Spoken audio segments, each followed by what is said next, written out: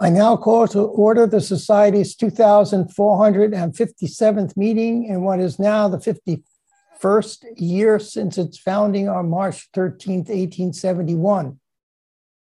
Good evening, everyone. My name is Larry Milstein. I am the president of PSW, one of the oldest scientific societies of Washington, D.C., committed to providing a forum to further scientific understanding and inquiry Welcome to our members, guests, and friends to tonight's lecture by Elizabeth Strychalski. Tonight's meeting is being held via Zoom. As of now, we are planning to have the next meeting in person, but this will depend, of course, on COVID and on the measures instituted by government authorities and the Cosmos Club. The venue will be posted to the website and highlighted in the announcements that will be sent before the lecture. Please check the website frequently for updates. All in-person meetings will adhere to the Cosmos related rules of the District of Columbia and the Cosmos Club. Proof of vaccination, including a picture ID, will be required for in-person attendance. Masking is now optional, and we suggest getting tested for COVID within 48 hours of the event.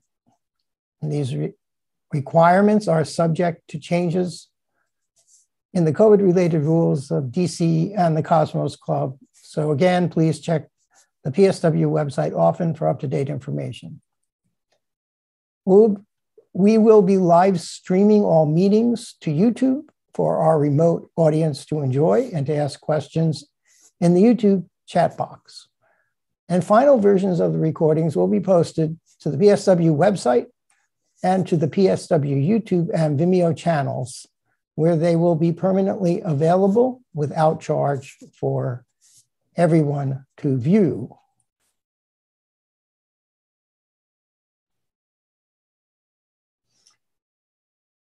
The Society is grateful to the sponsors of the 2021 2022 lecture series for their support.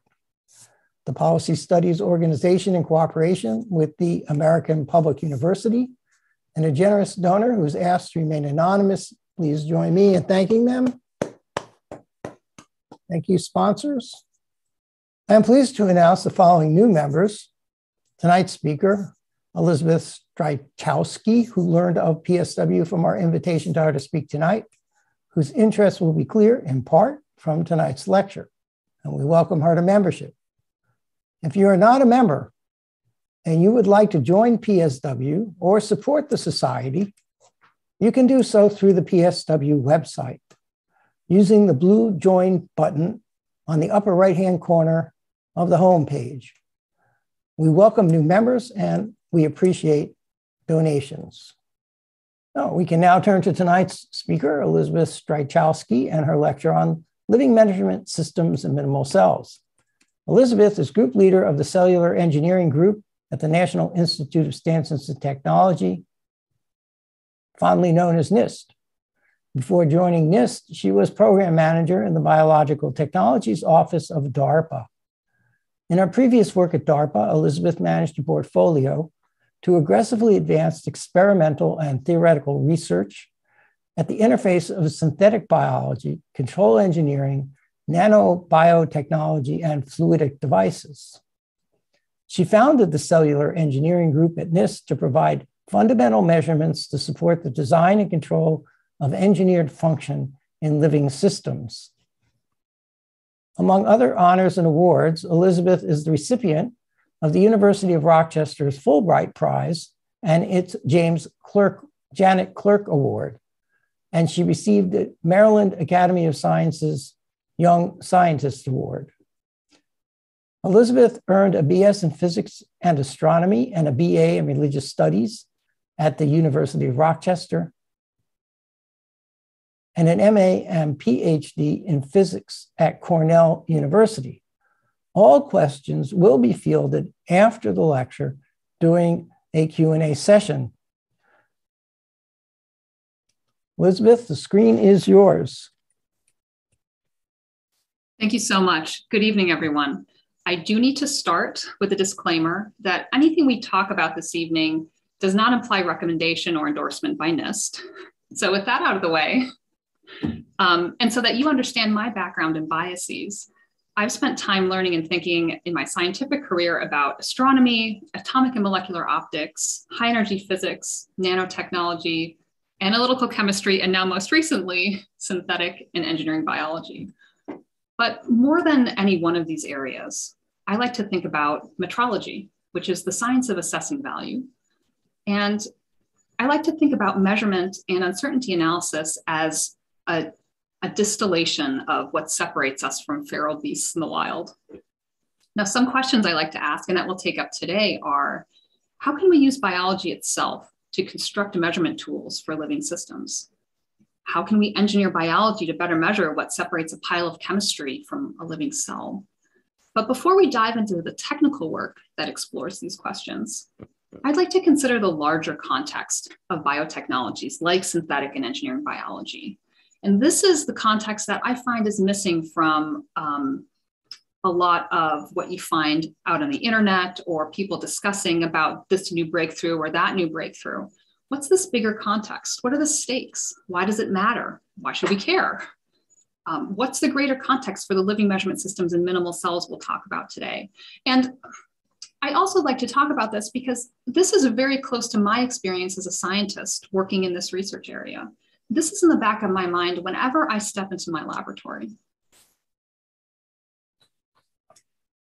So we are integral to the globe spanning success of biology. We all started as a single cell, like this image on the left, and this is utterly ordinary. Now, the image on the right is an electron micrograph of a particular genomically minimal cell that we'll talk about later called JCVI SYN 3.0. That's J. Craig Venter Institute for the JCVI.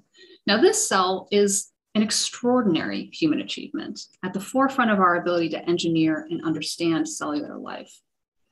Somewhere inside and between these lies us, our humanity, our evolutionary past, our future enabled by transformative biotechnologies. Now, to understand the potential of biotechnology, I want to start here with physics.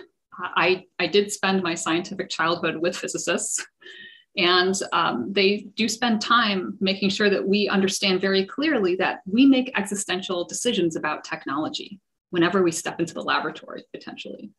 So I want to start with human hubris, with unconsidered consequences, with regret, with the real sense that we're capable of getting ourselves into existential trouble. Biotechnology is like this. I want to argue, in no small part because we're made of the same stuff as biotechnology. And so we have to collectively decide what world we want to create for ourselves with these capabilities. So the issues of what we could do, what we should do, and what we will do are at the heart of developments in biotechnology today and the future we choose to make for ourselves. Now, this discussion is not where we're going this evening, but I think it's important to own our tremendous responsibility in this. So, having uh, gotten the terrible power of biotechnology out of the way, I want to turn to just how amazing it is. I don't want to be blase about the state of our capabilities. Consider something we take entirely for granted commercial passenger flight. This is, of course, routine, but that doesn't mean we have to become routinized to the fact that we sit calmly in chairs hurtling through the literal stratosphere. That's amazing. And the impacts of it are so much more than just putting people in chairs in the sky. Personally, I find biotechnology to be a lot like this. Transforming genes between bacteria or other organisms like air travel is entirely routine. But I don't want to become routinized to the fact that we can, with intent, read and write the very DNA expressed inside of living cells. That is also amazing. And the impact of it is already so much more than fluorescent fish in your home aquarium. Take CAR T cancer therapies, for example. Now, by the way, in case you missed this news article, these transgenic glowfish have been found in the wild in Brazil, which highlights issues of biocontainment that are very real. This is also not where our discussion is going today, but again, it's worth keeping in mind. Now, to get us a little closer to where we are going today in our discussion, consider the schematic that shows what are generally agreed to be the various technological revolutions of humankind. You have steam engines, mass production, you have the automation, computing, and information revolution. Um, you have where we spend our everyday lives, the, um, the Internet of Things and artificial intelligence. And then there's this last one, where we find ourselves now in our discussion of living measurement systems and minimal cells. Some argue that we're seeing the development of the foundational technologies that will drive the next technological revolution. Of course, it's the biotechnological revolution. Synthetic and engineering biology are central to this. My hope is that this framing of the state of the art in biotechnology gives you a sense for how our discussion today relates to all of the other technology we take for granted in every moment of our lives as technological beings. Our experience individually and as a society, it's absolutely pervaded by our technological capabilities. So that's where we are. But where will all of this biotechnological capability take us in the future? Now, while most engineering biology still happens in laboratory settings, the future will see these move outside of the laboratory because I believe that, you know, whether we like it or not, we will absolutely need to more extensively field biotechnology. And hopefully we'll be able to do this in time to solve some of the pressing challenges uh, in our environment and in human health for nothing short of uh, ensuring our long-term survival, to put it plainly. Now, if we can allow ourselves some freedom to dream, we can envision influencing entire planetary systems to better support human life. Although this image is meant to be Mars, we can imagine proving out terraforming capabilities on smaller targets like comets or asteroids or moons. My hope is that we'll get a chance to do this before there's a dire need for those technologies back here on Earth. My point with all this is that in many ways we're arguably more limited right now by our imagination than by our ability to do things in the laboratory. So if you can do anything, what do you do? Well, I know that we can only build the future that we can envision together. And this takes us right back to issues of what we could do, what we should do, and what we will do. And we all have the responsibility to ourselves and to each other to help shape this. Of course, we all want a future that's worth living, and we don't want to leave anyone behind. All of this is what I think about every time I step into the laboratory. So, with this backdrop, let's move to a more technical discussion. And of course, I don't want to claim undue credit. The work I'll talk about um, today describes the contribution of many talented researchers and collaborators across more than a decade with apologies to anyone I've missed um, and forgotten to include on this slide. So my group, my research group lives at NIST, which is the National Metrological Institute of the United States, and it's part of the Department of Commerce. Because if you can't agree on weights and measures, you can't trade. And a core part of our mission is to focus on metrology, which is again, that study of assessing value. I happen to be located in something called the Material Measurement Laboratory, where our engineering biology program is centered. But research supporting measurements, equipment, and data management relevant to biological systems happens in nearly all of these labs. So when people think of NIST, they tend to focus on standards like how much does a kilogram weigh or how long is a second. Um, but we need standards for measurements of biological systems too. And I invite you to consider the incredible amount of technical work and stakeholder engagement that has to occur well before we come to the top of this pyramid to creating um, and using a standard. Now, as a technology area matures, we tend to build up this pyramid. Engineering and synthetic biology are rapidly developing fields, and they tend to still inhabit mostly the lower po portions of this pyramid. Um, and my group typically works closer to that area but identifying and meeting measurement needs early um, speeds filling out this pyramid, which in turn supports the success of all of the academic research that's happening out there in synthetic and engineering biology, along with transitioning those technologies to industry so that it can impact the bioeconomy more broadly. So NIST is developing measurement products that are enabling the predictive design, engineering, manufacturing, and translation of emerging biotechnologies. And I like to think of that road to realizing our future bioeconomy as paved with measurement innovation and measurement assurance for both biology and engineering biology.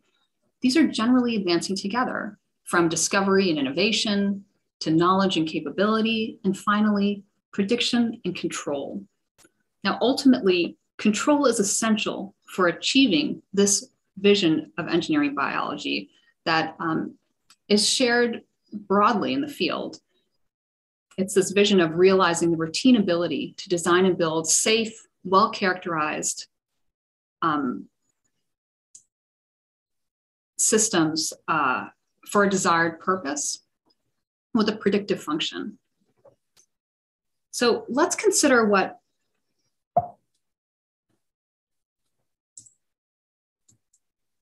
Let's consider the impact of even a small amount of control over engineered biological parts can have, along with control over their combined function.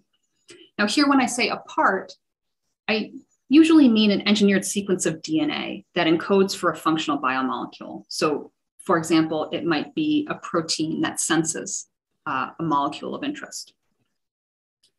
Control is the difference between, on the left, piling up rocks at the edge of your field so that your cows can graze and you just happen to end up with a stone wall versus human mastery over the elements with the Roman aqueducts or you know giving expression to humanity's cultural artistry in Hagia Sophia.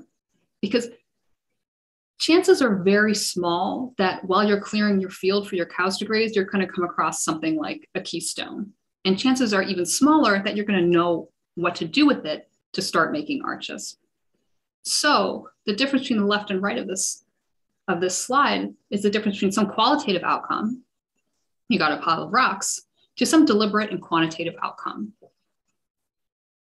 So how do we better arrive at uh, you know a, our ability to control these parts so that we can make custom parts built for purpose, like a keystone? How do we control what those parts do individually and in concert with each other? And because this is biology and so challenging, we also need to consider what happens when that context that those parts are in changes.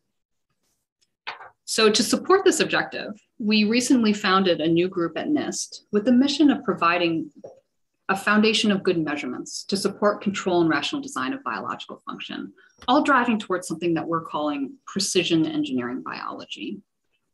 And if this sounds a lot like controlling the life force, you wouldn't be wrong. So we develop living measurement systems to enable control.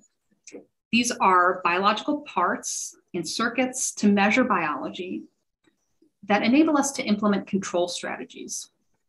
Now, I would argue living measurement systems are the right technology for the job. They're compatible and they scale uh, favorably with the biological systems we're trying to measure and engineer. And we also know that it's possible to build living measurement systems because biology is measuring and controlling itself all the time at every level.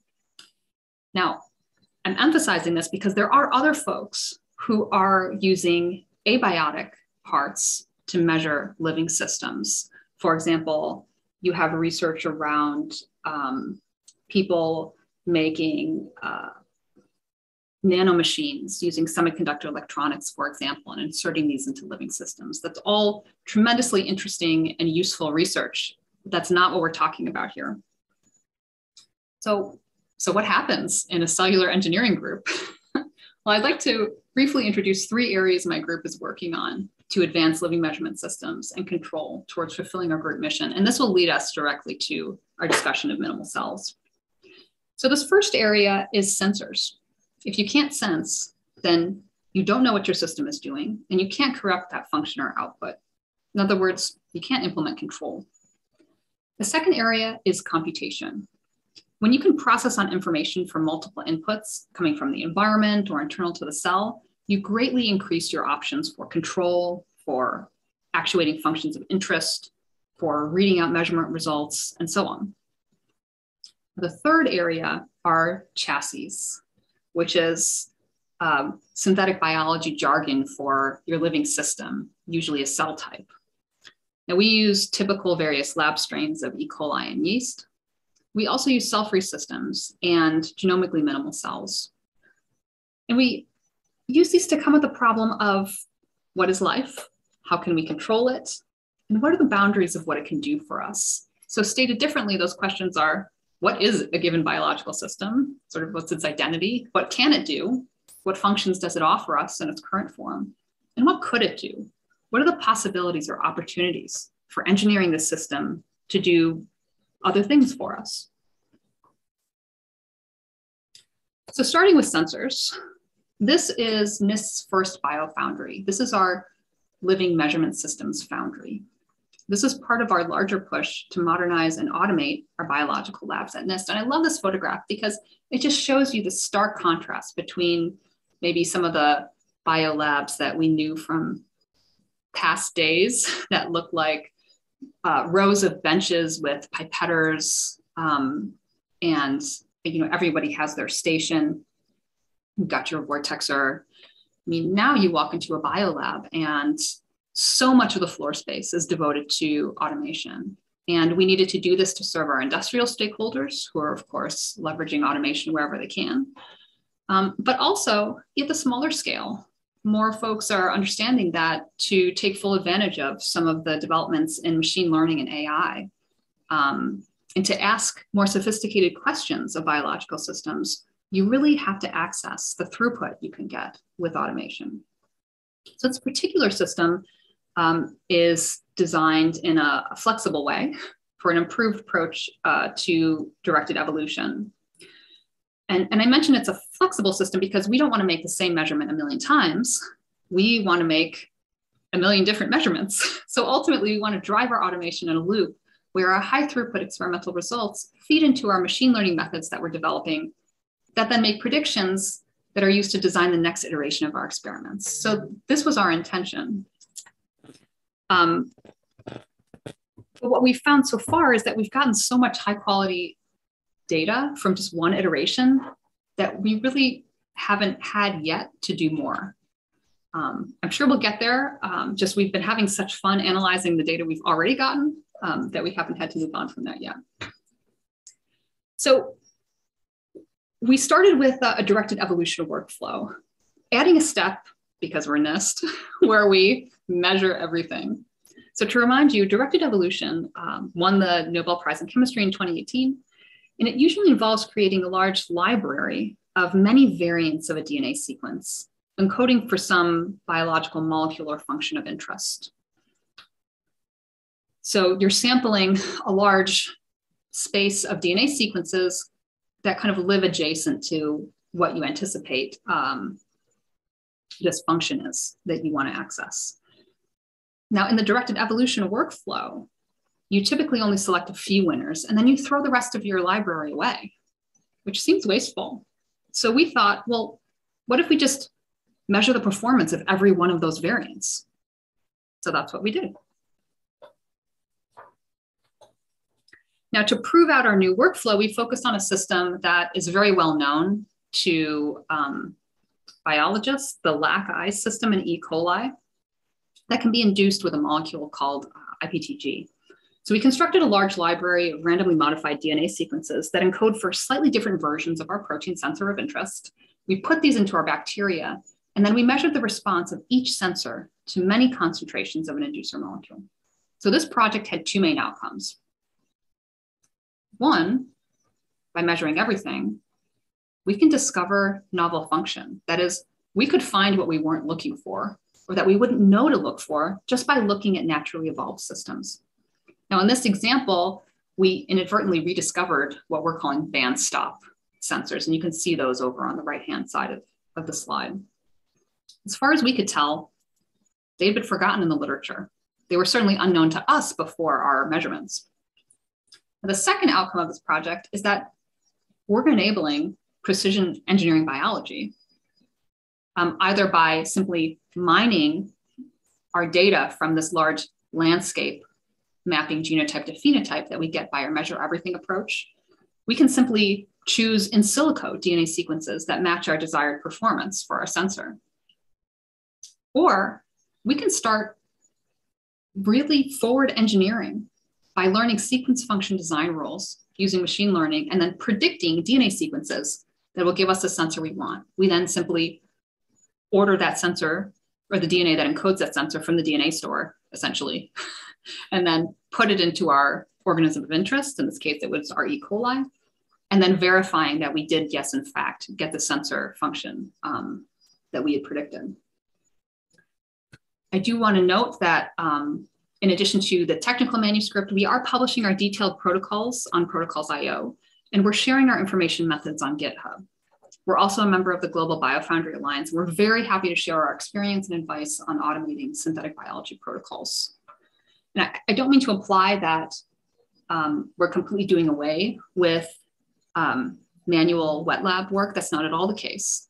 Um, you do still need to um, have that as an integral component of developing uh, your protocols as you transition them to automation if you even decide that's the way you need to go. Automation is not always the answer, as we'll see a little bit later. Moving now, now to computation, um, my lab recently demonstrated something called co-transcriptional RNA strand displacement circuits, which is a mouthful, CTRSD. These take the power and straightforward programmability of DNA computing and implement it as genetically encoded RNA circuits based on Toehold strand displacements. So the colored lines here represent nucleic acids, and Toehold strand displacement happens when short single-stranded segments or toeholds complement another strand that displaces the strand that's currently bound through this process called branch migration. Now, what's different about um, our circuits is that they're transcribed in situ, and they're transcribed continuously. This was not possible before with, um, with DNA computing. And our system is compatible with use in vivo. So you can imagine then a cell monitoring its internal state in real time for all of the reasons you might want to have this capability. For example, for cells making products or for cells as products. Um, you might want um, a cell that monitors uh, dynamically its yield in a biomanufacturing process and then actuate some kind of response based on that measurement to optimize that yield. Or you might want your cells to diagnose themselves with cancer as early as possible. The idea is to take the entire measurement pipeline and move it out of our laboratories and in silico computers and instead use biomolecules to build that same measurement pipeline all within a living cell. So that's the vision for this project.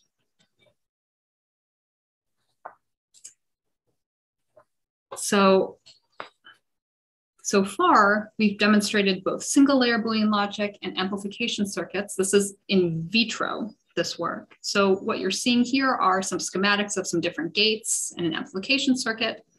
And then these plots are showing um, the increase in a fluorescence signal as the circuits react um, over time. So I, I show these plots because I wanted to give you a sense for the time scale over which these circuits are working.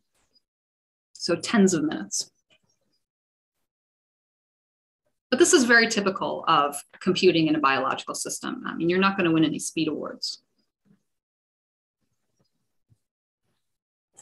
Um, we've also demonstrated multi-layer cascades. So these were developed along with a simple model that allowed us to predict and design circuit performance. That code is available. Um, and we're also working now on testing design rules we can share with other laboratories for these circuits. We also want to build other types of computations beyond Boolean logic. Um, and one of the reasons for that is Boolean logic is very foreign to biological systems. Um, we like it because we're used to thinking of computation happening in silico. Um, but taking further inspiration from from advances in, in, in silico computing, we can now start to think about building machine learning out of biological parts in living systems, even though they were really, that was originally inspired by living systems. It's so wonderfully meta. So moving on now to chassis. one of the biological systems we work with are cell-free systems. These are reactions where you essentially take the innards of a population of cells, often E. coli. You remove the DNA from those cells so that you can then add in a DNA template of your choosing, along with any other reagents you might want or need, for example, a source of energy or any of the other things listed on this slide. There are three common reasons why you might want to use cell-free systems. You might want to use it itself as a platform because you want to harness the functionality of biology without needing, without the system needing to be fully alive. For example, you might want to produce a, a product that would be toxic to a living cell. Another reason is that you might want to use cell-free as an intermediate tool for testing, say, genetic parts. Um, as you as you develop uh, an engineered part. Um, and one way people talk about this is, is speeding the design build test or design build test learn cycle, which is something that um, synthetic biology and engineering biology have borrowed from other engineering disciplines. The idea is that if your system doesn't have to be alive all the time while you're testing it, then you're not constantly waiting for your cells to grow up. You can just quickly whip up this cell free system and have your answer in a few hours instead of a few days. A third reason is that you might be trying to construct something like a, a synthetic cell, which sometimes can involve um, re encapsulating cell free systems in an artificial membrane, for example. Or uh, it's not done as commonly, although I personally think there's a lot of really interesting work to do here, is to reintroduce engineered confinement using fluidic chips like microfluidic and nanofluidic chips. So we're working to provide measurement support for all of these use cases. Reproducibility has been a challenge for these systems in research settings. Um, so that's something we've been looking at. Um, We've been focusing on testing manual and automated protocols for preparing that DNA template I mentioned and quantifying the resulting amount and variability of protein expression that results off of that DNA template. Now, interestingly, as we go uh, kind of head to head manual and automated protocols, we find that automation is not always a better option than a manual process if you're looking to reduce variability in your protein production. But there are other trade offs. You know, automation is going to give you faster throughput, for example. But it turns out that a human is actually really good at pipetting reproducibly.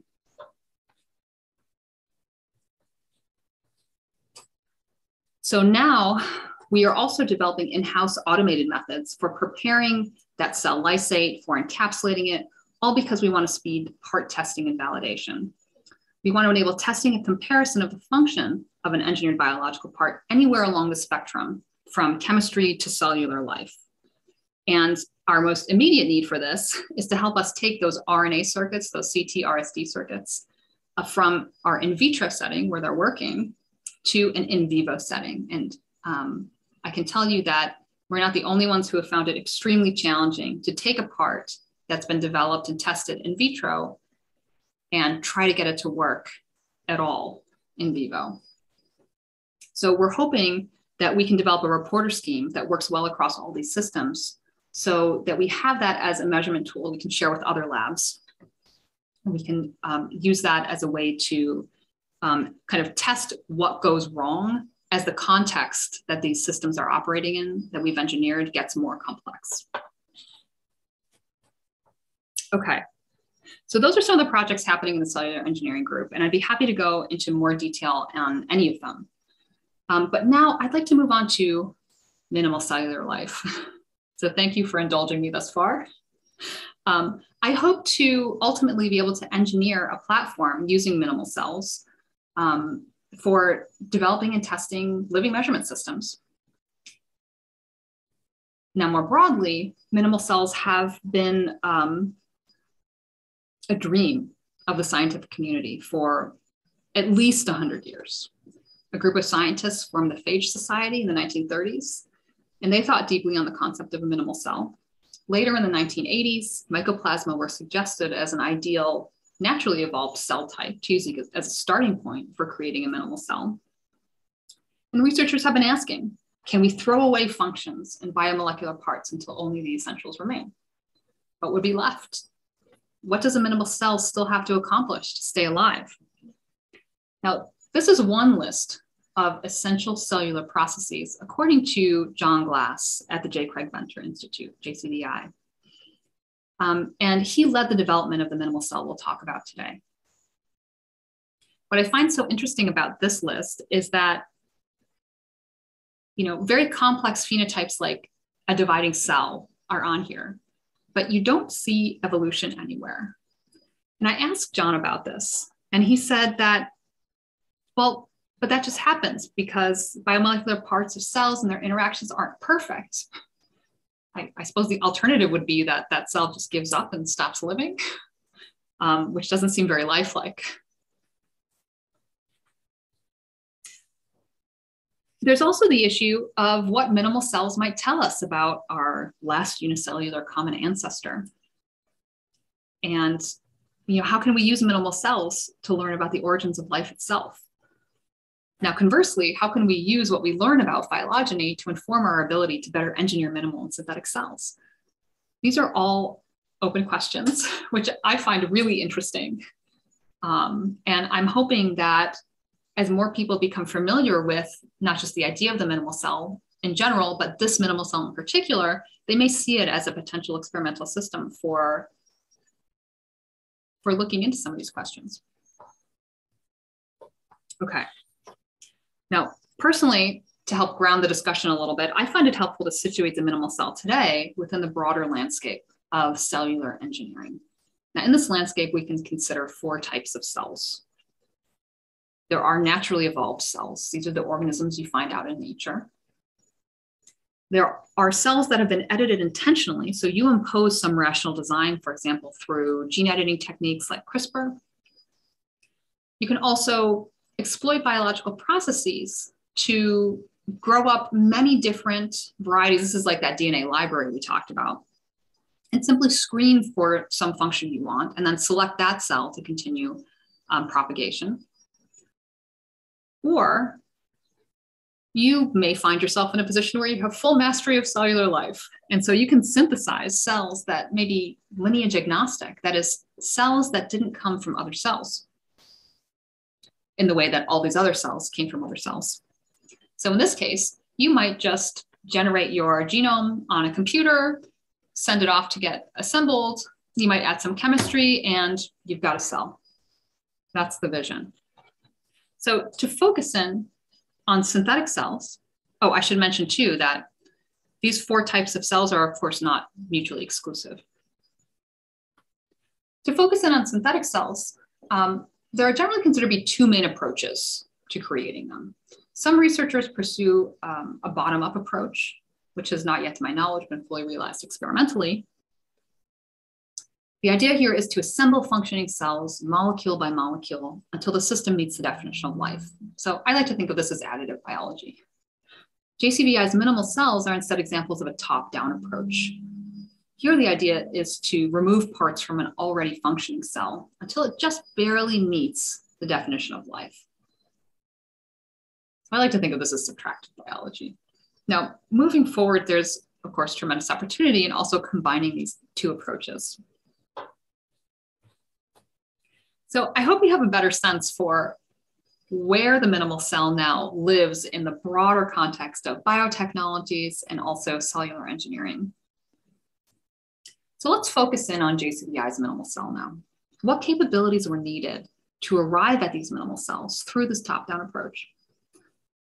The JCVI had to develop several technologies that together enabled building cells with synthetic and minimized genomes.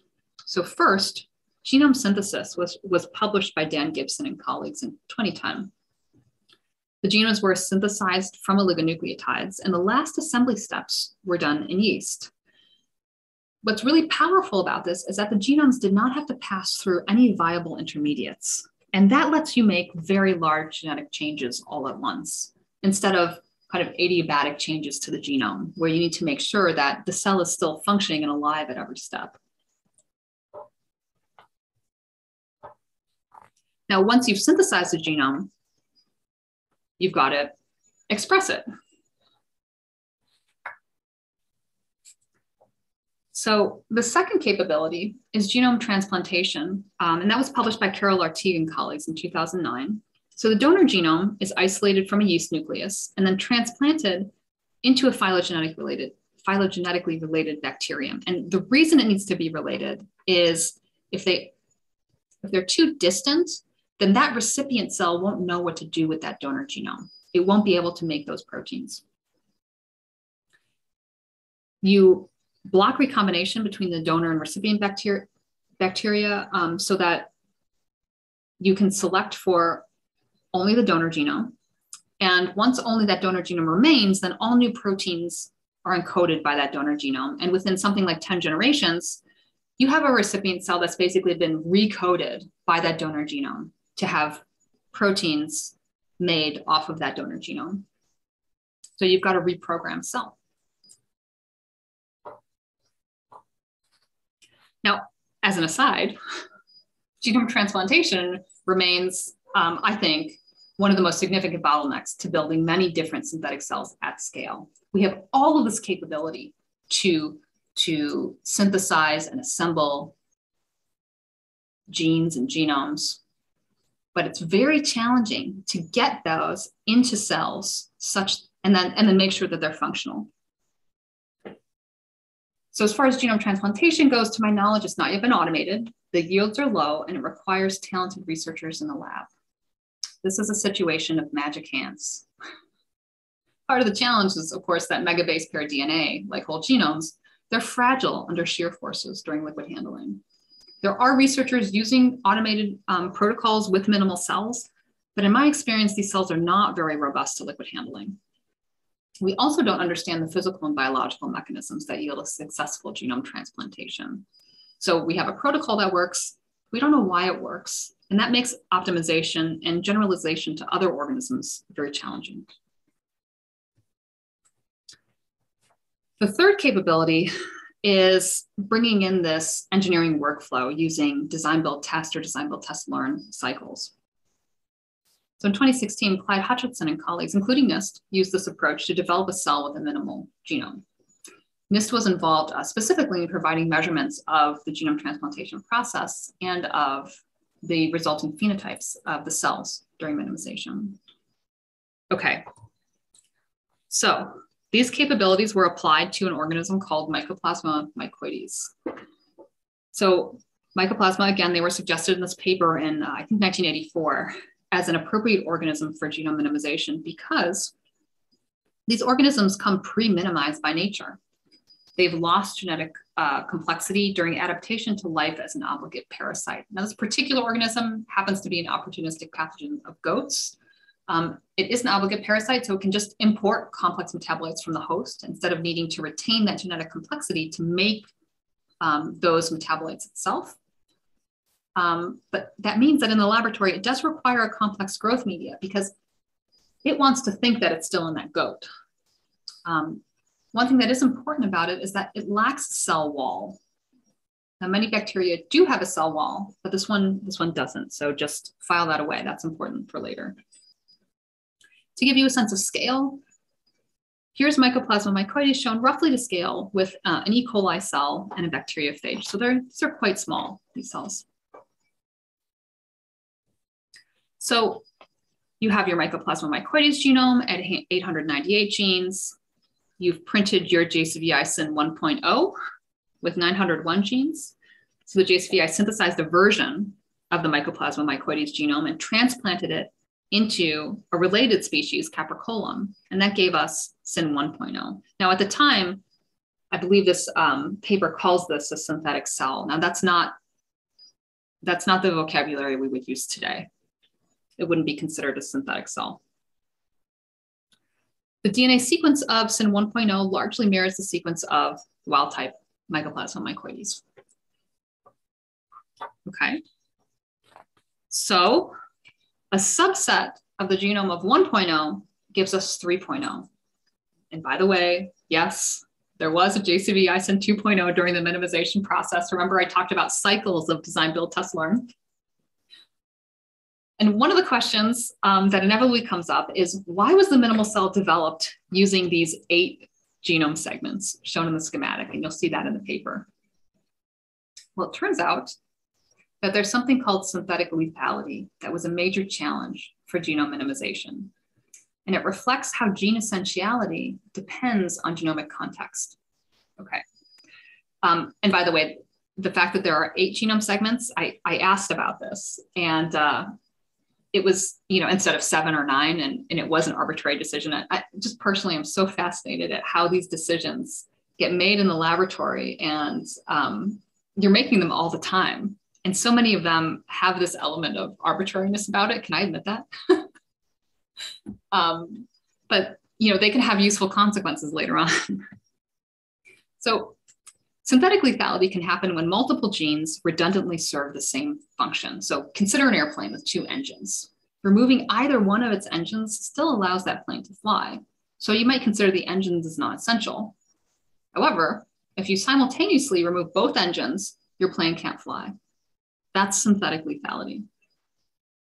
So one strategy that JCVI used to overcome this challenge was to assemble the genome from eight, these eight overlapping segments. And then they minimized each segment independently and then mixed and matched to delete as many genes as possible.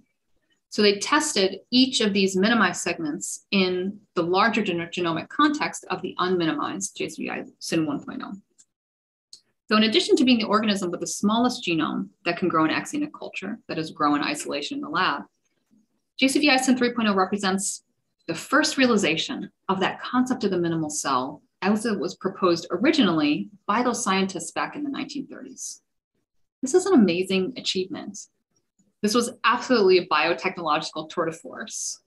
And the fact that we can sit here calmly and have a nice evening discussing it um, seems almost incredible to me because this was such a wild scientific ride. Um, and I think I joined sometime in about 2014 or 20, 2015.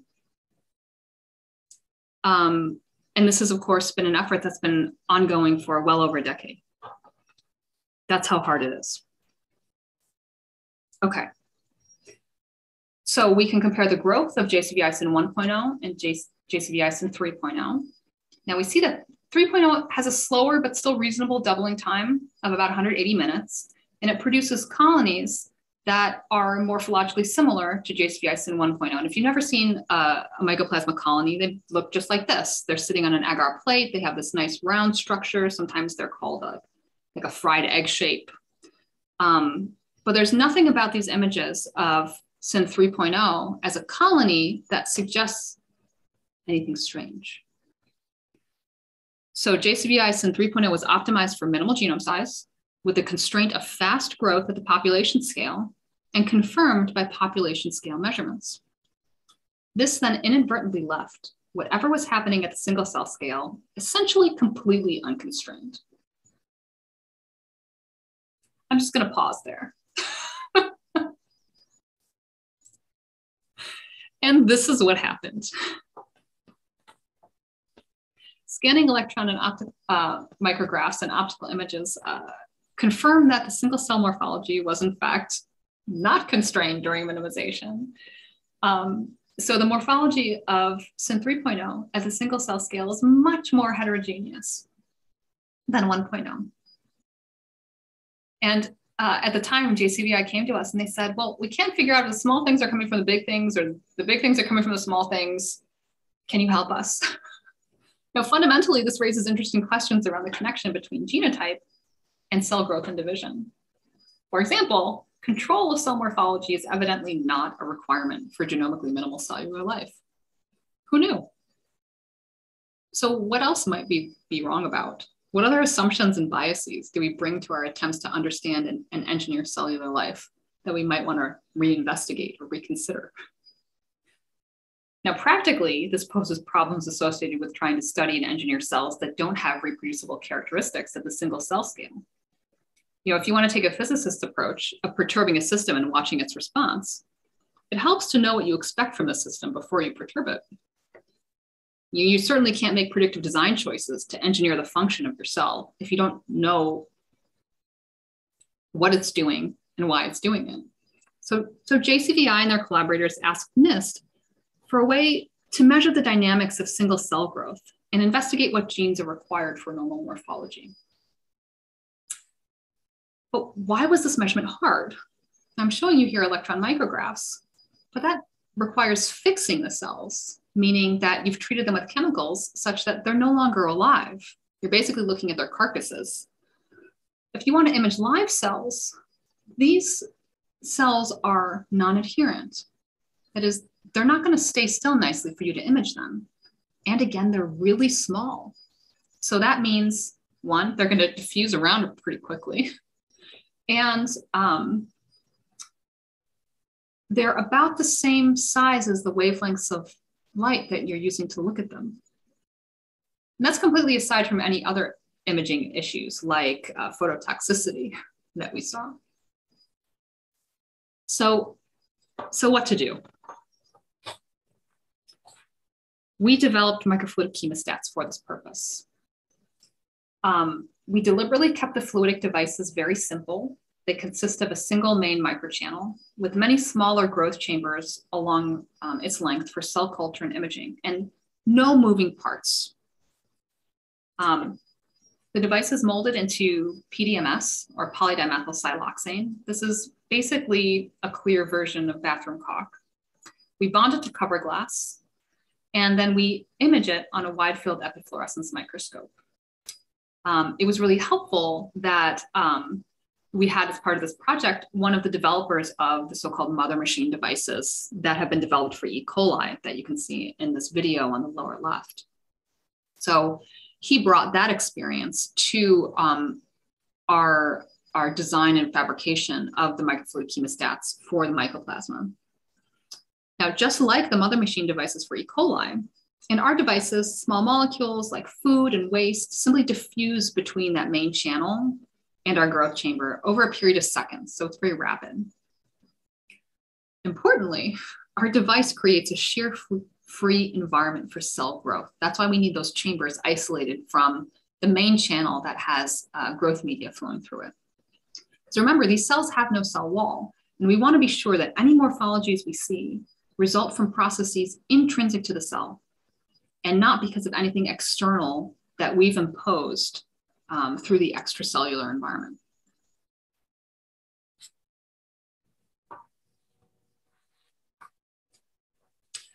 Um, this is what the uh, experimental setup looked like on our optical microscope. Um, so you can see our microscope, you can see our incubator, um, there's an arrow showing where we put our microfluidic chemostat. We have syringe pumps um, where syringes are loaded with, uh, with our growth media or fluorescent solutions. And tubing is then run onto the microscope.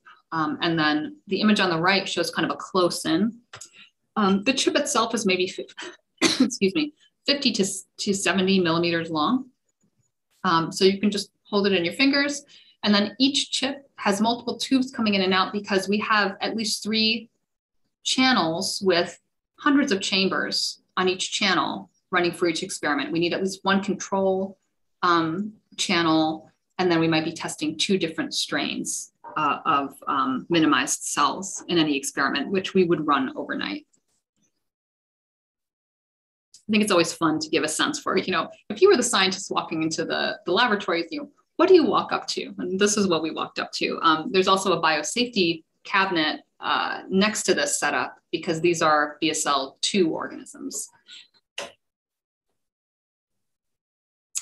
So to give you a sense of scale, here's a typical mycoplasma colony, that big orange circle on an agar plate, shown actual size with one of our microfluidic chambers. So these microfluidic chemostats extend our ability to engineer the minimal cell at not only the colony scale, but also the single cell scale, because we now have a way to measure that. Um, okay. So how did our cells grow in our microfluidic chemostats?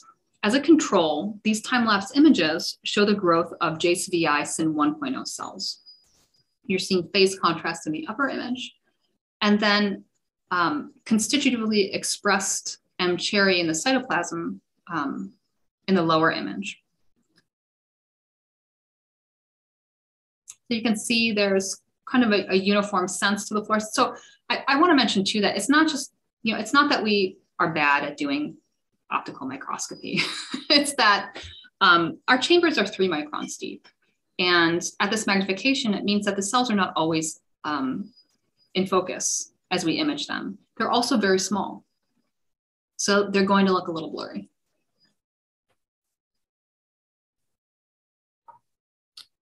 Okay. So that's what 1.0 looks like. In contrast, SYN 3.0 cells grow to include cells with a lot of morphological variation, including cellular structures that are several microns in diameter. We have filamentous cells, we have other shapes. I'm gonna let this loop a few times so you can pick out um, some of what's happening here. And again, this is just one of hundreds of chambers. You could even see in the, in the lower um, fluorescent image that some of these cell-like objects are brighter than others. Some appear not to be metabolically active. They don't have an M-Cherry signal. Um, you can see in the upper image, there are all these long filamentous cells, which are so fascinating to me because there are no known cytoskeletal elements in these cells. So what is stabilizing those long structures? Because you would expect that the membrane would kind of pinch off and you would get isolated cells. So I'm not sure exactly what's happening there. So that's a fun mystery we still need to learn more about. Okay. In addition to variation in cell size and shape, SYN 3.0 cells also vary in their biomolecular composition. For example, some have more or less DNA, or as I mentioned, lack um, metabolic activity to express M-Cherry. So at the end of a growth experiment, we could flow in fluorescent labels to visualize DNA, membranes. Um, we could put fluorescent media additives to test membrane permeability. Um, there's a lot of potential to use our chemostats for learning more about the minimal cell phenotype and about um, its, its biochemical makeup. But for right now, what I'd like to do is turn to uh, which genes are required for normal cell division we hypothesized that JCVI SYN 3.0 lacks the genes it needs to control cell division simply because they were deemed non-essential and kind of thrown away from the genome.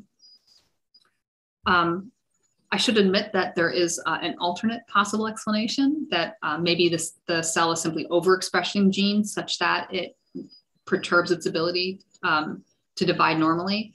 Um, that is not a possibility that we we looked at because it just seemed so obvious that uh, probably the bigger effect was that we got rid of something that needed to get put back in. So we first tested minimized versions of those one-eighth genome segments in the context of an otherwise unminimized JCV SYN 1.0 genome. And those are the micrographs you're seeing here.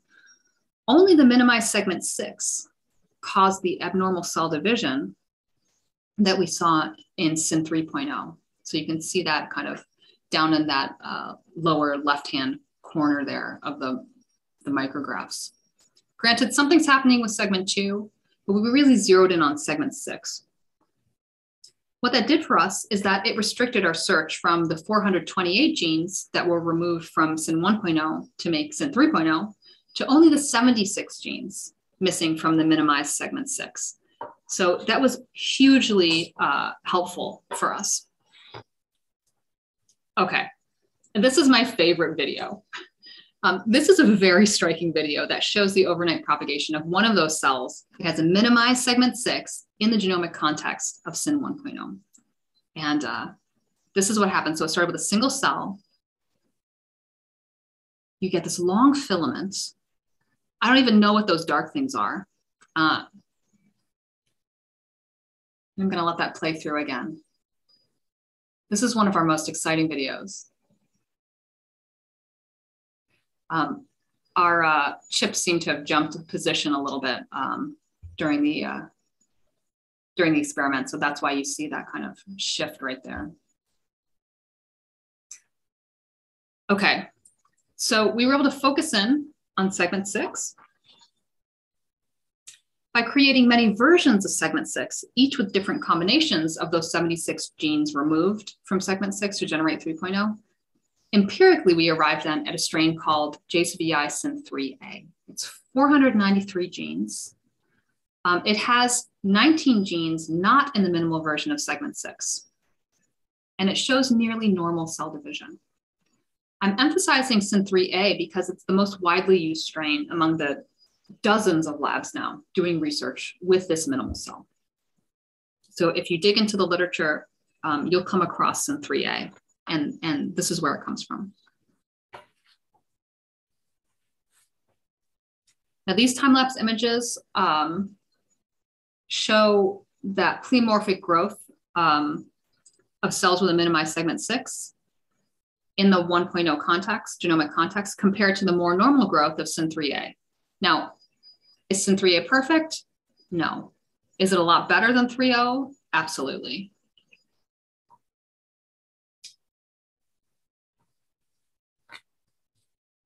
Okay, so which of these 19 genes is most essential to controlling cell division? So these 19 genes were then organized into eight clusters, not to be confused with the eight 1 8 genome segments from earlier. um, they were put into these clusters uh, where to organize adjacent genes, um, and they could represent transcriptional units. So we then studied the intact clusters first before we studied the, the, uh, the genes individually. So we first hypothesized that cell division depended on um, that gene cluster number one. That's part of um, a very highly conserved division and cell wall cluster. Um, don't get confused by that name, even though this cell does not have a cell wall. This cluster is just called division cell wall cluster. It's involved in, in cell division in many bacteria. This contains um, the tubulin homologue, FTSZ, uh, which forms filaments that tend to localize to the division site in many bacteria and form something called a Z ring. So we hypothesized that addition of this cluster alone to JCVI SYN 3.0 would restore normal cell division. Great, let's test it. But it did not restore normal cell division. The cells still seem to lack size and shape control, as you can see from this micrograph, uh, which is not from our microfluidic chemostats. This is just a wet mount on a glass slide. And okay, so not cluster one, but when we look at all the rest of the clusters, there are no genes that stand out to us as offering any hints that they might be required for normal cell division.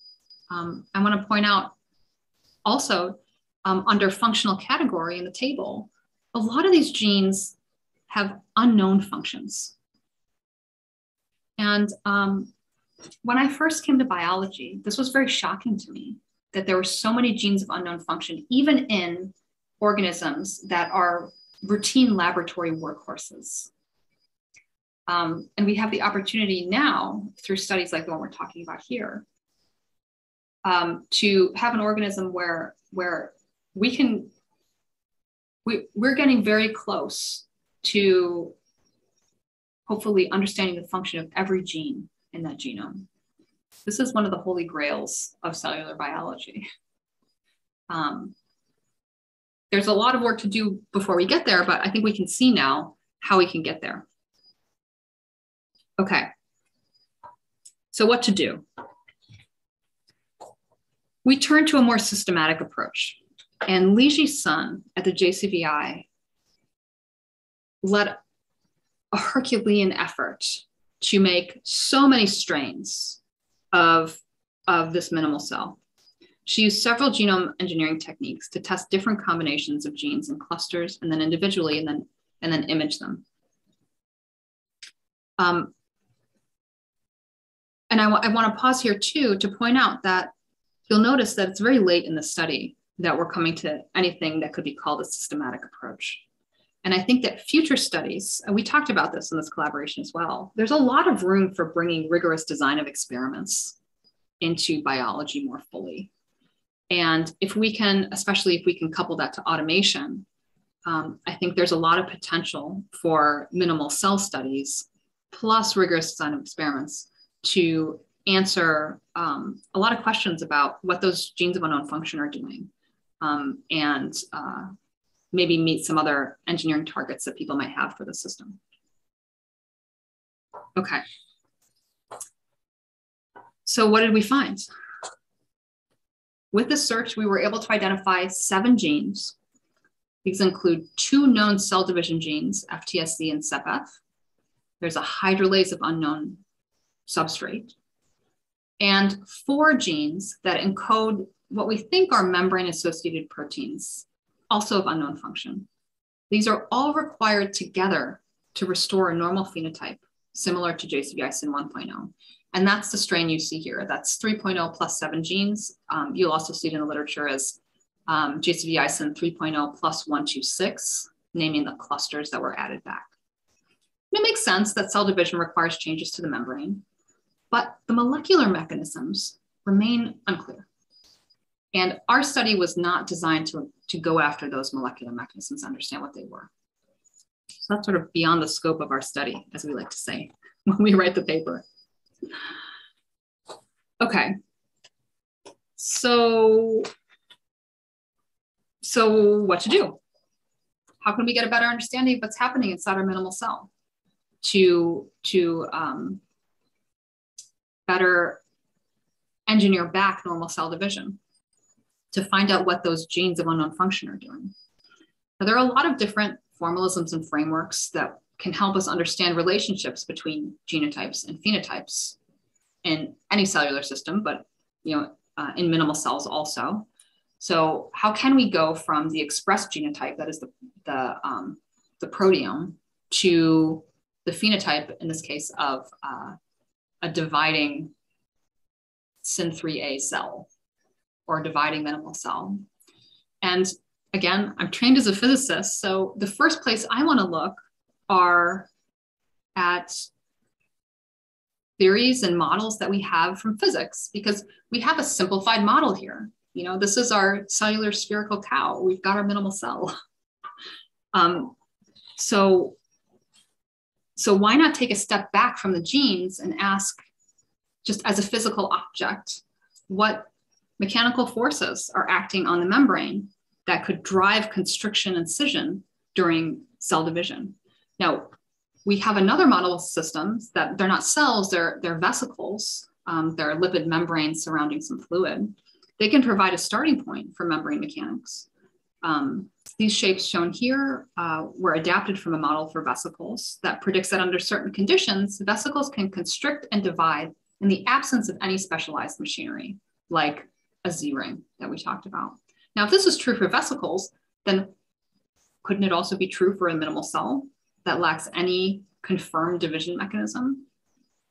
In other words, how much of cell division is governed by the biophysics of the cell as a collection of biomolecules versus being driven as an active process regulated by the cell that consumes energy? Uh, this is an open question, um, but I think it's a fun way to think about minimal cell. Um, certainly, it takes engineering to fight physics, so why fight it if you can instead use it to your advantage? There um, is, uh, again, um, in the spirit of physics, starting with the simplest model, there's a model called the spontaneous curvature model for vesicles um, that we're looking into um, to see how well it can describe cell division for SYN3A. And, and if it's you're superimposing that model onto our minimal cell, does that give us any hints as to what some of these genes of unknown function are doing? Now, there are two key physical parameters in this model. There's the volume to surface area ratio, and there's a spontaneous curvature of the membrane. Um, so we're looking right now, as I said, into which genes these parameters might depend on in this genomically minimal context. This can hopefully give us information on what these gene products are doing um, and get us closer to that vision for understanding what every gene in the cell is doing.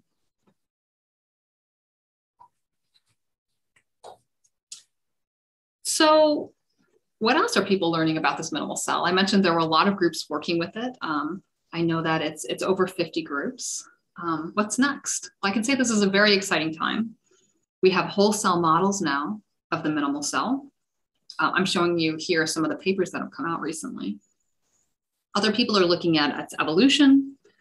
Um, still others are putting functions into the minimal cell that it never had to begin with, even before minimization, like the ability to move. Um, I, I'm very taken with this research because for most of the 20th century, we've brought tools from physics and engineering and adapted them to measure living systems. And now, with all of this biotechnological capability that we have, we're positioned to change our approach and instead adapt the living system itself to be more amenable to measurements. Now, in the case of a minimal cell, this might look like simply making a larger version of the cell so that it's easier to image on optical microscopes, or a cell that adheres to a surface so that you can um, image it better and uh, manipulate it, change its environment without simply you know, flowing it away. Um, so those are simple things we can do. Um, synthetic cells are another thing that's next. If you didn't know, there's an organization called Build a Cell. Um, you can join us there if you're curious to learn more about synthetic cells and the research um, ongoing to make them a reality. This is a great group of people.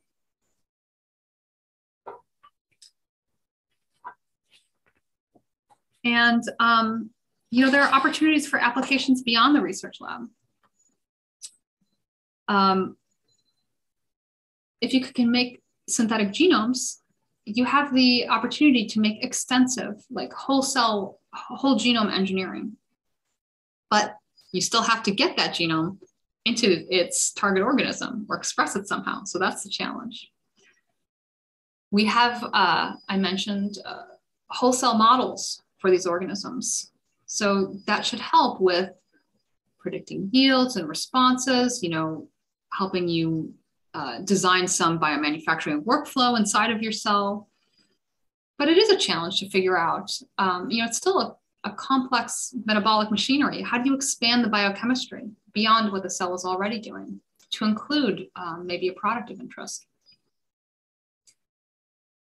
Other folks are thinking about how to use the fact that the minimal cell was derived from an opportunistic pathogen as an advantage rather than as something maybe scary. So um, you might imagine using the cell as uh, a therapy itself or for controlling the delivery of a therapy. But again, derived from an opportunistic pathogen, how do you ensure safety and efficacy? That's certainly a challenge. Um, these are early discussions. There's no obvious killer application for minimal cells yet.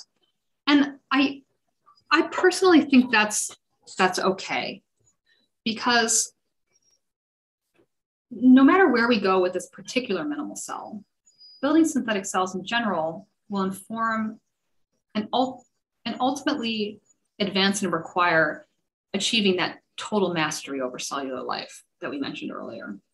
Um, there's so much that we have to learn still. So it almost doesn't even matter what we do next. Um, and total mastery over, over cellular life, that's a really formidable challenge. So, so why bother at all?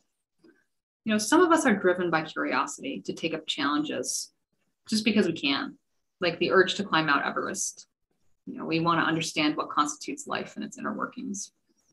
Some of us see the need for biotechnologists to solve pressing social problems that require the ability to control and engineer cellular function. Someone used biotechnology as a lens to experience more fully who we are and how we can live a meaningful life. Um, we even have a popular mythology in which the life force and cell-based transducers of this force play an essential role. And what might be next beyond these minimal cells? What more could we aspire to once we've gained full mastery over cellular life? We can also ask, how might we take what we learn about life from a minimal cell and apply it to create living or lifelike attributes in non-biological systems? How might we go from machines like Atlas to machines with key attributes of life, like the character's data or the Tin Man? What would we gain? What would we lose? What are our responsibilities to our creations? What are their obligations to us? Who gets access to this technology? There are so many questions we can ask and so many issues to address. but these are for another day. I hope that you have a sense now for both uh, the recent technical progress and the greater context in which um, all of this work on minimal cells and cellular engineering is happening. Um, for now, I'd like to once again thank all my collaborators. Um, and I'd like to thank you all for your attention. It's been, uh, as I mentioned, a, a, real pleasure and honor to be here with you this evening. And um, I'm very happy to take any questions from you. Thank you. Well, thank you, Elizabeth. Uh, we have time now for our Q&A. So I guess I can start with a question that's a, a little bit of an oddball question. But since you were talking about designing computational systems in these cells. I'm a little bit familiar with Eric Winfrey's work, and I wondered if you could say a few words about how your work is different than what he's doing, and maybe how it's the same, or you build on each other, and whether you talk to one another. Or... Great, great questions. Um, so his work um, was part of the inspiration for our RNA circuits. And um, you know, I was a little bit disparaging of DNA circuits, and, and I shouldn't be because it's really an amazing technology. The big difference is that, in general, for DNA computations, you typically make the different molecular components of the computation in sort of separate tubes and then have to mix them together. They react once and then that's it, you're done. Whereas ours, we kind of recruit the machinery of life to make the parts for us all together in situ. So they're reacting and being made and degrading sort of continuously. And I think there's a lot of potential for new capability there. Is he entirely in vitro or is he partly in vivo? I thought he had circuits in vivo. He was, uh, I forget what he was counting. It's been a while. Sorry. There's a lot going on in, in your slides 44, 46, 48, and the your favorite one. Yes. There's, a lot going on in that in that chamber. One question I had is why is everything clustering at one end of the chamber?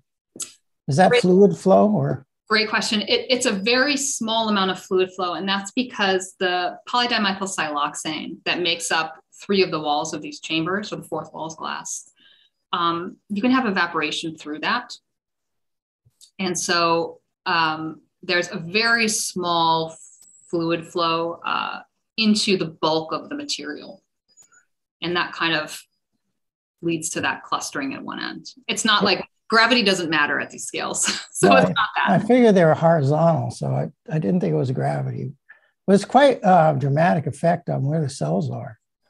I mean, the right end is is clear and the left end is, you know, where all, it, all the material is. It, it so may be also yeah, it may be also that um, the cells themselves stick to each other a little bit, and so yeah. you know, as they're diff- the free cells are diffusing around, they may they may start sticking to each other. Um, we have a poly-L lysine uh, PEG surface coating, just kind of that we we pre-coat the chambers with, um, and so the keep cells, things from sticking. Right, because without it, the cells just just basically stay stuck. Uh, I, you know, for me, mycoplasmas are are a te- are a pest. when I was doing cell culture, you know, there you got mycoplasma, and then that was a big problem. And and they're nasty little beasts that you can't see, and they're very. And then when you want them to grow, they're really hard to grow.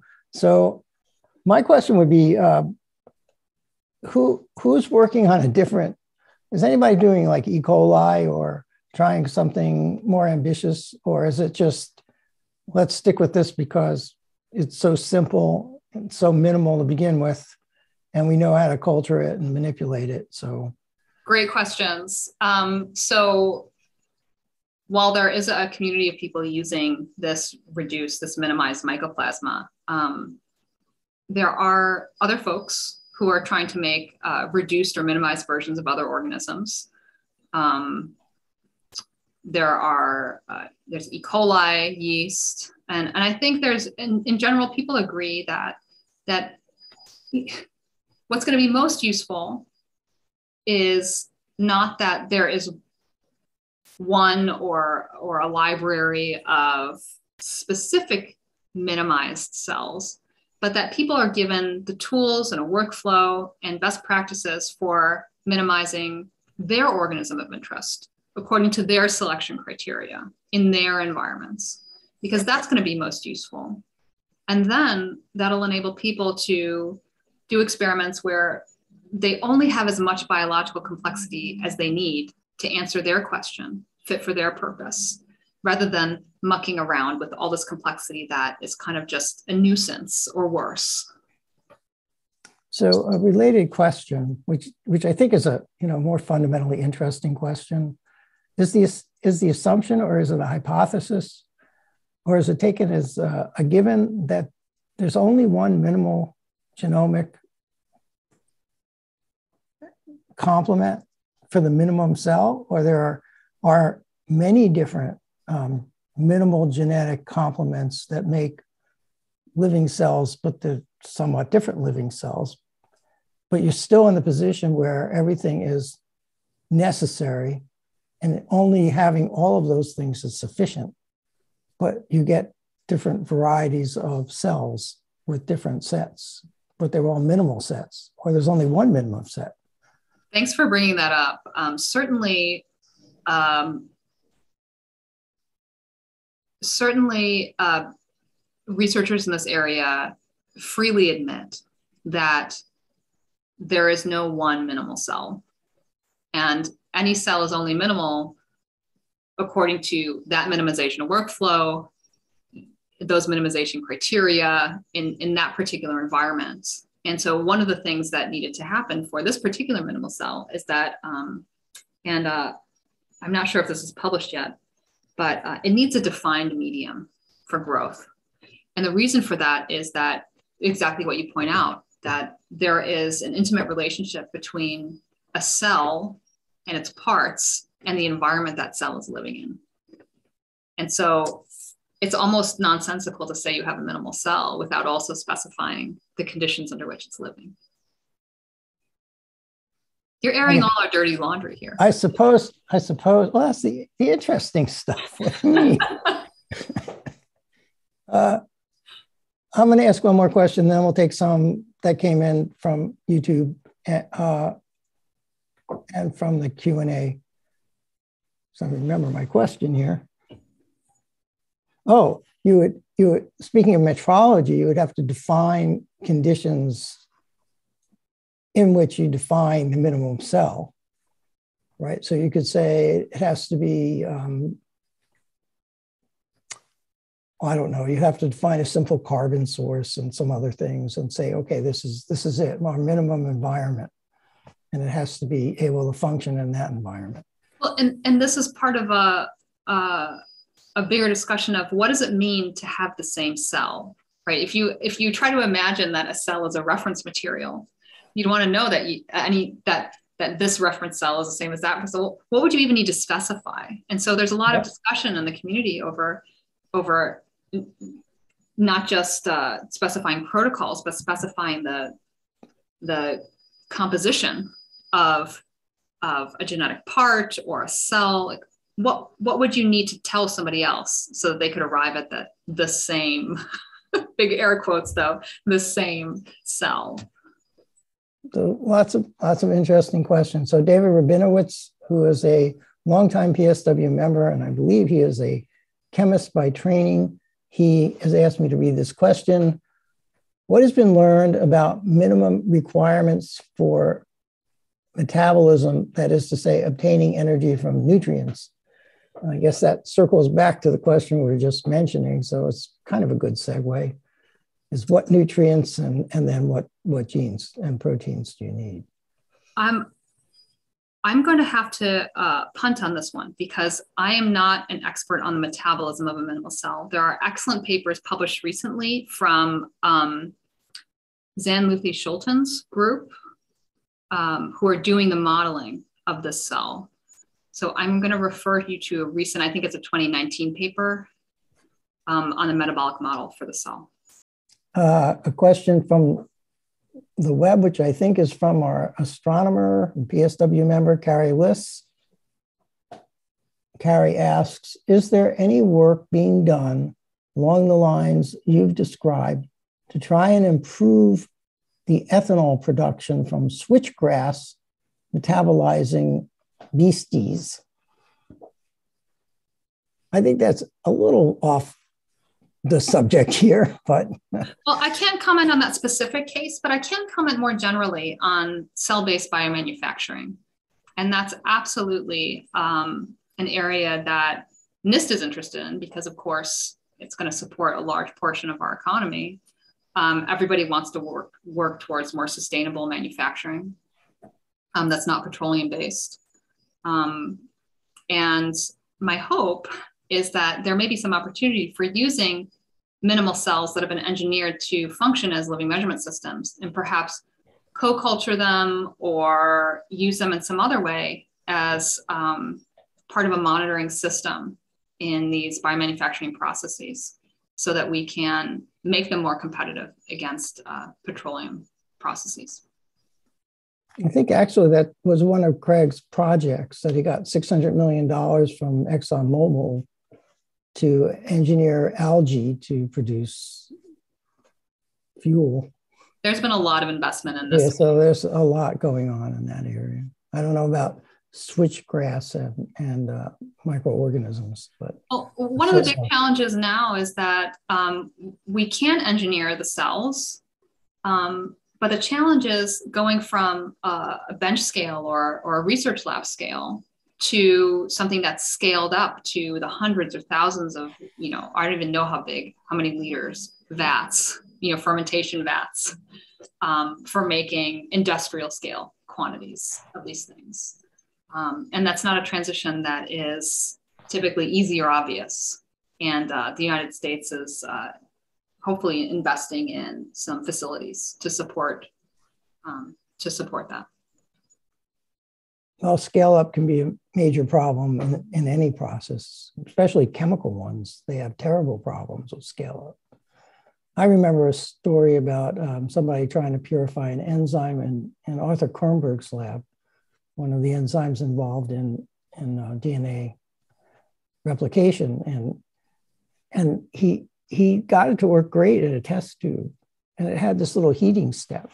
Mm. And he could never, ever scale it up. So he he finally ended up doing 150 test tubes individually because the heat transport right. and other processes that were taking place, they just, you couldn't do it in a larger reactor. So we have another question from the web. This is from Jorge Aponte. He says, I saw a recommendation from national academies about physics and biology working together to understand life. I think you're doing some of that. How far are we from understanding the forces that affect the genesis of life? Excellent question. Um, I think we need to be careful because we can't ever really prove that we know what happened in the hoary past. um, all we can do is see if we can navigate this boundary between a pile of stuff and a pile of stuff that's alive. Right. And one system for looking at that transition um, is cellular life. Others are looking at uh, materials that we don't usually associate with living systems, you know, just to try to study that that transition. But I, I think at the current state of knowledge, there's still a lot of, and magic happens. It's alive. you know, I, I don't think that we know. Um, Jeremy England had published some papers a while ago. Um, I don't believe he's in science anymore, um, looking at uh, seeing if thermodynamics and non, nonlinear statistical mechanics um, can, can give us information on that. Um, I think that his theories uh, still need to be tested experimentally. Um, I haven't followed that work so closely, but that would be something to look at if you're interested in learning more um, you know, we're not there yet. There's there's still a lot of room for um, for interested and, and talented individuals to come and, and help us. I think I think that's right. I think we're we're not there yet. We've got we've got fragmentary evidence on the earliest um, hints of life. We have some idea about the time when life evolved originally, what the conditions might have been, although there's kind of controversial lately as to what those conditions were. We have we had a talk by somebody who's looking at the most ancient fossil record of life, but um, we haven't created life abiotic, from abiotic starting materials. So we're we're a ways away at this point. And there's a big raging debate about how you would know if you'd found life somewhere off of Earth. Yes. And, you know how you would define it. And we've yes. had a couple of talks on that. And especially Lee Cronin has given a talk. I guess he never talked about his complexity, molecular complexity idea here, but um, that's just one idea. I, I think it's okay that we're a ways off though. You know, there's there's so much to be gained from still pushing towards that that moonshot, such as it's fine. It's the mystery of life, right? well, I, I want to point out the mRNA vaccines as an example of what some of this, like you know, the kind of impact, the um, you know, transformative, glow spanning um, that can be had from some of the biotech capability that comes from, you know, fundamental research. Not from me. Let's have a question from Carl Merrill. Carl is a professor emeritus and division head at uh, NIH. And I think he did some work on in the early days of taking bacterial genes and putting them into eukaryotic cells. So, Carl, please ask your question. Well, I have two, two questions. One is very simple. You used the term cherry on slide 41, and I just wondered what did that refer to? Uh, the, oh, I'm sorry, the fluorescent protein mCherry. It's, it's what? The fluorescent protein mCherry. That's oh, I see. So it's it's using fluorescent la- labeling. Okay. And then the other question is more general, and that is, um, these cells, the mycobacter, are are simple cells. They require complex media. You can't just put them in simple chemicals. So one might say are they really alive themselves, even in their in their wild state? And that leads to the question: Is there a continuum between them and a virus? I'm a big fan of continua. You know, um, I think that you bring up an excellent point. As you get an organism that is simplified and unable to deal with a changing environment, you need an environment that's going to accommodate that.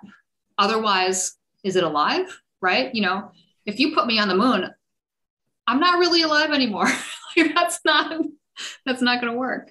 Um, so I think that uh, more and more there's a recognition that we need to be careful about talking about these organisms in a context, in an environment.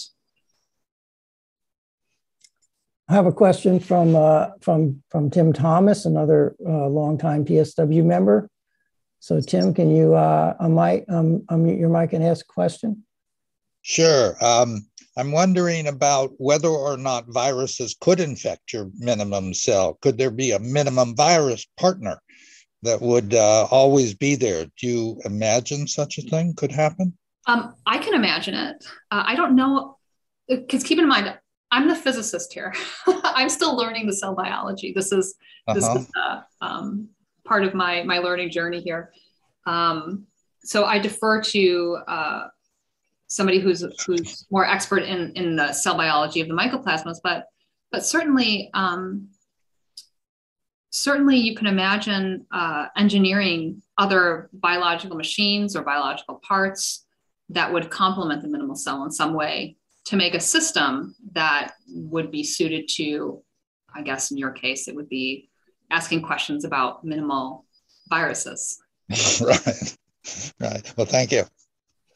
You know, uh, one comment along those lines is in all the DNA that they threw away, did they find, has anybody looked at it to see if there are signatures of, of uh, virus, viral DNA?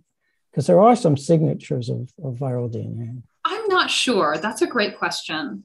Um, I do know that mycoplasmas um, mutate very rapidly, more rapidly than other organisms. Um, so, so that's something that folks are looking at. Um, if you do adaptive laboratory evolution with the minimal cell, what happens? What does that tell you about, you know, further minimization or, or um, the reappearance of function, for example? Um, I think these are open questions, but you know, we have all kinds of tool sets that we can throw the minimal cell at, and it's just really an exciting time. Well, here's a question that harks back, I think, to the beginning of your talk um, from the web. Uh, Jeffrey H.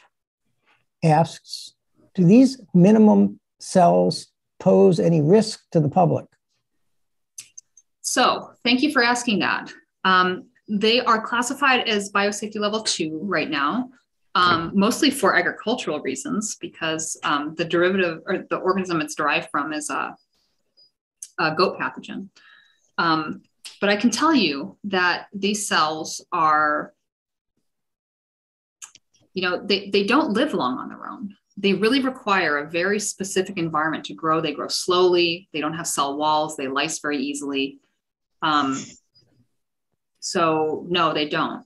Um, and in fact, I, I, believe in Germany they were reclassified as BSL one. Yeah. So, and another thing I want to bring up is that more more generally in cellular engineering and engineering biology, synthetic biology, um, whenever you engineer a function into a cell, the cell is generally unhappy with that function. You know, it's a very tuned system for what it's evolved to do. And when you perturb that, it has mechanisms for ejecting what you're trying to make it do, right? Ejecting those parts or ejecting that function so that can it can increase its fitness. Um, so biocontainment is, of course, a concern, uh, and it should be taken seriously. But in general, the engineered cells that we make tend to be sicker than natural cells. They tend not to do well um, outside of the laboratory. Another question from Carrie Liss, which I'll read. Didn't Jeremy England argue that life arises naturally in a driven off equilibrium system in order to maximize entropy production? If so, I'm surprised no one has tried to set up an artificially driven system to see if new life could be generated. But contamination by existing biota is probably a big problem, and also with such an attempt. So, has anybody tried that? Not to my knowledge. I hope I'm wrong because I would love to read that paper. So I'm going to ask uh, one more question anyway. Well, actually, I asked two. So in that zoo of things that we saw in your favorite video, yes. have you characterized all of them? There seem like there are filaments, there are small, what look like vacuoles and large vacuoles. I couldn't really tell those. Some of them are ovoid shaped. Are they two dimensional or three dimensional? I think later on you showed a uh, lipid vesicle, so maybe they're three dimensional. But could you just say a little bit more about what what's in that zoo? Yeah, we don't we don't know. Okay. And part, part of the reason is that you need more more graduate students. Well, we also need different devices. So um, I mentioned that our devices are three microns deep, and that's for reasons of being able to load the cells. If we design different devices, we could design them to image these different um, structures more clearly longer, better. Um, uh, one thing I didn't mention is that performing these experiments in the fluidics was actually very challenging. And it took two of us pretty much running all over the lab for, you know, a good 15 hours straight. oh my, yeah. Because you have all the complexities of the imaging, all of the complexities of the biology, and then all the complexities of the fluidics. And they all have to work together. Um, I'm sure we can do better if we went back and tried again. Um, we simply ran out of time and money. Um, so, so what else could we do? Um, we could bring other measurement techniques to these cells. We could we could use, um, and people want to, um, super resolution microscopy techniques um, different kinds of fluorescent or other labels, hyperspectral imaging. Um, some people are looking at um, some uh, scanning probe measurements that we can maybe maybe do. Um, I, think in the next few years we'll see a lot of uh, papers come out that give us information on what these structures are, where they come from, what they're made of. Uh, yeah. Unfortunately, we don't we don't have that yet. You have lots of questions and lots of things to do. So I'm going to let you go back to the lab soon. And um, thank you so much for giving this lecture, and especially for uh, providing us with an overview of the experiments you're doing and the and the data that you're getting and and some of the games that you have. So really appreciate it. Um, thanks so much. I look forward to you coming back in a couple of years with an update, and maybe then you'll be able to tell me what all those things are in that in that chain. I hope so. I hope so. Thank you. So thanks so much. Before you go, just a few things to tell you. Our next lecture, meeting number 2458, will be on May 6th, and the speaker will be Rahul Saini.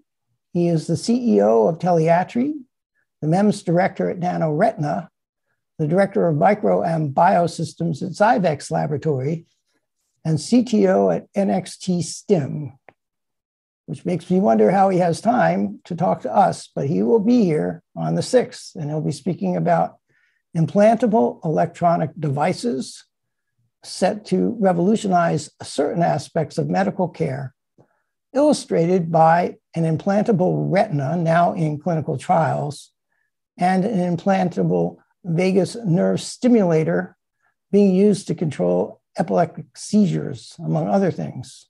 We are planning for this meeting to be in person, but again, that ultimately will be determined by COVID and COVID related measures in place in two weeks.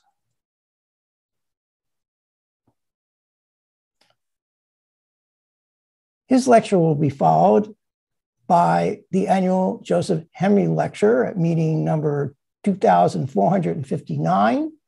The speaker will be Bob Balaram, of JPL Caltech. He is the chief engineer of Ingenuity, and he will be speaking on Ingenuity, the first flying machine on Mars. On June 3rd, the speaker will be Charles Tahan. Charles is head of quantum computing at the White House Office of Science and Technology Policy and chief scientist at the Laboratory of Physical Sciences. He'll be speaking about quantum computing and the National Quantum Computing Initiative. The 2461st meeting will be on June 17th. The speaker will be Shobita Satyapal. She is professor of physics and astronomy at George Mason University, and she will be speaking about supermassive black holes. And that will conclude the spring lecture series. The fall lecture series will kick off with meeting number 2462 on September 9th. The speaker will be Drew Weissman of the University of Pennsylvania. He will be speaking about mRNA vaccines. Drew is one of the two people who developed chemical modification methods that make these vaccines possible. Please check the PSW website often for up to date information on meetings and whether lectures will be in person or via Zoom. COVID and COVID related public health measures are constantly changing, and PSW is adjusting plans accordingly. We hope you will join us for these meetings, whether they are by Zoom or in person. Finally, let's thank tonight's speaker, uh, tonight's volunteers for producing this meeting. Robin Taylor, who in the background here is doing the live stream and is responsible for the audiovisual. James Heelan, who read the prepared and read the minutes, Anne McQueen, who handled the YouTube questions, and our friends. With that, I will adjourn the 2457th meeting of the Society and wish everyone a good morning, evening, afternoon, or night, wherever you may be. The meeting is adjourned.